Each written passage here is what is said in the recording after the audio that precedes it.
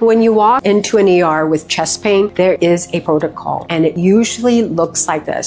Step number one, triage. Within minutes, a nurse checks your vital signs like heart rate and blood pressure and listens carefully to how you describe your pain. Chest pain is never ignored, but how urgent depends on what they see right away and what they hear. As a triage nurse, when a patient comes through our door, we ask them what their chief complaint. If it's a chest pain, we assess that person immediately. We listen to the symptoms, he's getting vital signs. Step two, we get him an EKG within 10 minutes. The EKG looks at the heart's electrical activity. If it shows a STEMI, ST elevation myocardial infarction, that's a classic heart attack. You're rushed straight to the cath lab. Cath lab is where your artery is unclogged. A normal EKG does not rule out a heart attack. So you could be having a heart attack, but the EKG looks normal. That's where step three comes in. Blood work, especially a test called troponin. Troponin rises over time when heart muscle is injured. Early on, it can be normal, even if a heart attack is happening. That's why repeat testing matters. Chest pain that continues to worsen or comes back should trigger reassessment.